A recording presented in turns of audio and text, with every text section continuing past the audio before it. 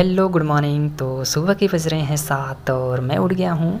In fact मैं साढ़े छः बजे ही उठ गया था बट थोड़ा फ्रेश होने में सात बज गए तो आज की दिन की शुरुआत होती है एन सी आर टी मैया के साथ। तो आज की शुरुआत मैं बेसिकली एनिमल टिश्यू से करने जा रहा हूँ, क्योंकि थर्टीन को मेरा टेस्ट है, जिसमें जूलॉजी में एनिमल टिश्यू बॉटनी में सेल वाला चैप्टर फिजिक्स में काइनेमेटिक्स एंड केमिस्ट्री में पीरियोडिक टेबल आ रहा है। तो यार एनिमल टिश्यू मेरा ऑलमोस्ट तैयार था, ज़्यादा कुछ पढ़ना नहीं था इसमें। क्वेश्चन भी ऑलमोस्ट लग जाते थे but still it must to do once because यार, कोई भी चैप्टर आपका कितना भी तैयार हो जाए, आप उसे फिर भी पढ़ो।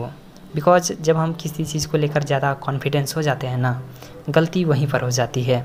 कॉन्फिडेंस अच्छी चीज़ है, लेकिन आप ओवर कॉन्फिडेंस से बचना, ये आपको आगे नहीं ले जाएगा, ये आपको नीचे ही गिराएगा। तो काफ़ी लोगों के काफ़ी सवाल थे, जिसमें एक मेजर सवाल था लोगों का कि भैया एन को कैसे पढ़ें? एन में एक्स्ट्रा पॉइंट्स जो लिखे जाते हैं, वो कैसे लिखें? तो अपने अकॉर्डिंग जो एक्चुअल में मैं करता हूँ, उसके हिसाब से मैं आपको बताता हूँ कि जब भी आप एन पढ़ो तो अपने पास एक पतली सी कापी ज़रूर रखना और उसमें दो तरह के पॉइंट्स लिखना। एक तो जो आपको याद नहीं हो रहा और दूसरा वो जो इंपॉर्टेंट हो और उसमें वो चीज़ें बिल्कुल मत लिखना जो आपको पहले से याद हो। और हर चैप्टर के पीछे ऐसे पॉइंट्स आप लिख कर उसे चार पाँच दिन डेली रिवाइज करो। बहुत आसानी से आपको सब कुछ याद हो जाएगा। गाइस ये है आज का मेरा लंच छोला पूड़ी एंड पुलाव। यस पुलाव तो मैंने बनाया है लेकिन छोला इसने बनाया है। हेलो बोलो। हेलो ये है आप देख सकते हैं पूरा। आज यही बोला था कि भैया आज बनना चाहिए छोला पूड़ी। तो हम बोले चलो यार बना देते हैं। तो हम लोगों ने मिलकर बनाया है। और इसी में टाइम लग गया बनाने में थोड़ा। तो चलिए फिर खा कर आपसे मिलते हैं। सो आफ्टर लंच टाइम हो गए हैं eleven thirty right now and I am going to start chemistry chemistry में पीरियाडिक ही आएगा टेस्ट में तो चलिए इसको भी एक बार अच्छे से कर लेते हैं। आल दो मैं ये चैप्टर अभी कुछ दिनों पहले ही पी डब्ल्यू पर मोहित सर से किया था तो टीचर तो बहुत अच्छे हैं, बहुत अच्छा पढ़ाते हैं, लेकिन बहुत खड़ूस टाइप के हैं। यू नो बात बात पे उनको गुस्सा आ जाता है। क्या गम है यार ज़िंदगी में? कूल होकर पढ़ाना चाहिए। बट कोई नहीं, एक टीचर अगर कंटेंट अच्छा दे तो उसकी हर चीज़ एडजस्ट हो जाती है। क्योंकि जस्ट तो मोस्टली लोग कंटेंट से ही करते हैं ना। क्या पता पढ़ाने का कोई तरीका ही ना हो और स्क्रीन पर आकर डांस करो, गाना गाओ, लोगों को हुस्न दिखाओ अपना। तो ऐसे थोड़ी ना इम्प्रेस हो जाएँगे लोग। आजकल की कुछ मैम तो इसी भ्रम में हैं। कि हम बहुत फ़ेमस हो जाएँगे, बहुत लोग पसंद करेंगे हमें। समझ नहीं आता वो क्लास लेने आती हैं या फिर आर्केस्ट्रा चलाने आती हैं। वो पढ़ाने क्या आती हैं? वो तो और फ्रस्ट्रेट करके चली जाती हैं बच्चों को। ज़रा भी नहीं सोचती हैं दुनिया, समाज, क्या सोचेगा? खैर छोड़ो यार, हम भी कहाँ से कहाँ चले आए। तो केमिस्ट्री के नोट्स मैं ऑलमोस्ट रिवाइज़ कर लिया हूँ। अब इसके बाद मुझे जाना है लाइब्रेरी सो गाइस मैं नहा धो के रेडी हो गया हूँ और अभी मुझे जाना है लाइब्रेरी क्योंकि दो बजे से मेरी लाइब्रेरी है और आलमोस्ट टाइम हो भी गया है। और अभी मैं जूलॉजी एंड केमिस्ट्री कर लिया हूँ। इनफैक्ट केमिस्ट्री में मुझे अभी पीरियाडिक के क्वेश्चन सॉल्व करने हैं, क्योंकि मैंने सिर्फ़ नोट्स को ही पढ़ा है अभी। बट हाँ अभी फिजिक्स एंड बॉटनी में सेल वाला चैप्टर पूरा कंप्लीट रिवाइज करना है। तो चलिए वहाँ पर चलते हैं, फिर आपसे मिलते हैं। सो so गाइज़ मैं लाइब्रेरी के लिए रूम से निकल दिया हूँ और जा रहा हूँ लाइब्रेरी। तो चलिए फिर आपसे मिलेंगे। तो यार, लाइब्रेरी आने के बाद मुझे पता चला कि मैं अपना केमिस्ट्री का पी वाई को भूल गया हूँ। तो मैं दूसरे से लिया। कोचिंग की ही एक लड़की है लाइब्रेरी में तो मैं उसी से लिया। वो एक्चुअली अपने लिए लाई थी पढ़ने को, लेकिन मैं मांगा तो दे दी। बट मैं जल्दी से पढ़कर उसको दे दूँगा, क्योंकि उसको भी टेस्ट देना है तो उसको भी पढ़ना होगा। तो मैं नोट्स तो ऑलरेडी पढ़ लिया हूँ, केवल क्वेश्चन सॉल्व करने हैं।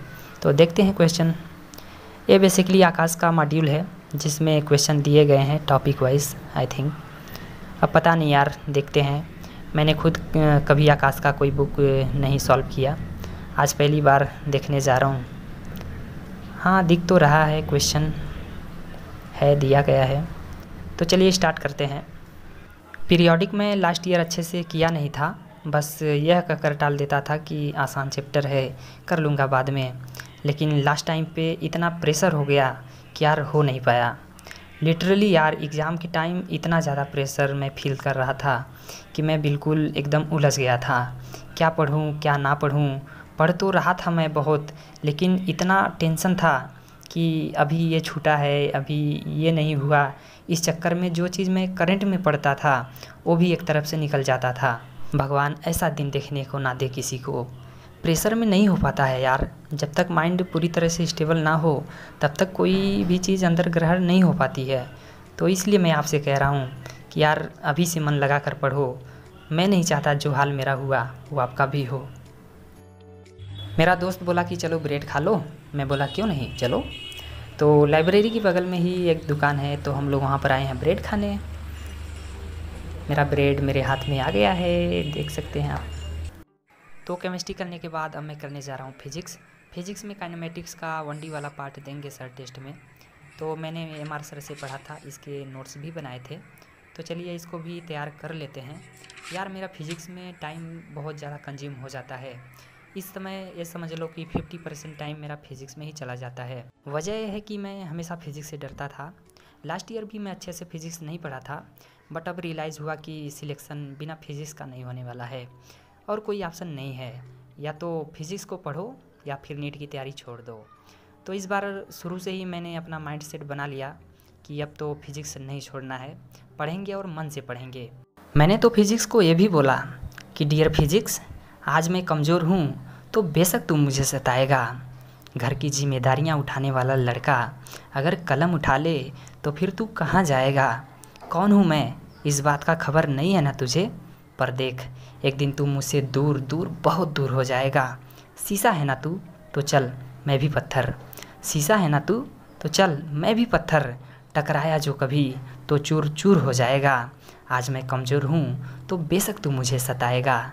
घर की जिम्मेदारियाँ उठाने वाला लड़का, अगर कलम उठा ले तो फिर तू कहाँ जाएगा? बस ऐसे ही ख्याल कभी कभी आ जाते हैं फिजिक्स के लिए। फिजिक्स अपने आप को सब कुछ समझता है ना? तो अभी उसे मेरे हौसले का अंदाज़ा नहीं है। माना कि फ़िल्म में विलेन का भी रोल होता है but only in the options of hero okay तो गाइस फिजिक्स भी हो गया है, अब लास्ट पोर्शन बचा है आज के सेशन का। तो चलिए इसे भी मंजिल तक पहुंचाते हैं। बॉटनी में सेल वाला चैप्टर आएगा टेस्ट में। तो ए वाला भी चैप्टर लगभग तैयार है बट एक या दो क्वेश्चन गलत हो जाते हैं। तो हंड्रेड परसेंट तो नहीं कह सकते बट एक या दो बार और पढ़ेंगे तो तैयार हो जाएगा। क्वेश्चन सिली मिस्टेक की वजह से ज़्यादातर हो जाते हैं बट अब गलत नहीं होने देंगे यार। तो आप लोग भी कंटिन्यू पढ़ाई करते रहिए और इस समय का भरपूर फ़ायदा उठाइए। ये मत सोचिए कि एग्ज़ाम अभी बहुत दूर है। यही सही टाइम है, एक अच्छा मौका है अपना लेवल उठाने का। इसी में अपना लेवल आप उठा सकते हो। ये मैटर नहीं करता कि आपका लेवल क्या है। मैटर ये करता है कि आप अपने ऊपर मेहनत करते हो या नहीं। गाइस जा रहे हैं लाइब्रेरी से अब रूम पर अपने। अभी गए थे हम लोग संकट मोचन दर्शन करने। तो दर्शन करके आ गए हैं। अब रूम पर अभी फ़िलहाल जा रहे हैं, साढ़े आठ बज रहा है। अभी खाना भी बनाना है हम लोगों को। तो चलिए, फिर रूम पर मिलते हैं आपसे। जानम, देख लो, मिट गई दूरियाँ। मैं यहाँ यहाँ यहाँ यहाँ। कैसी सरहदें, कैसी मजबूरियाँ यहाँ हूँ यहाँ।